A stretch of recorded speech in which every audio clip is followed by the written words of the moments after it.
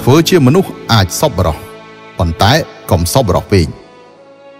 ត្រូវតែមានគោលការណ៍និងដែនកំណត់របស់វាសប្បុរសដែលគ្មានដែនកំណត់ គឺមិនមែនជាសប្បុរសទេប៉ុន្តែគឺឈួតចិត្តល្អមានຂ្នាត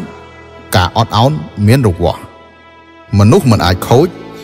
ស្នេហ៍មិនអាចក្បត់ត្រូវចេះអត់ឱនចំពោះមិត្តភក្តិតែកុំមិនដោយមិត្តភក្តិ មនុស្សសញ្ចេតនាត្រូវតែចេះថែរក្សាប៉ុន្តែកុំធ្វើឲ្យខ្លួនឯងខូចចិត្តល្អគឺជាគុណសម្បត្តិ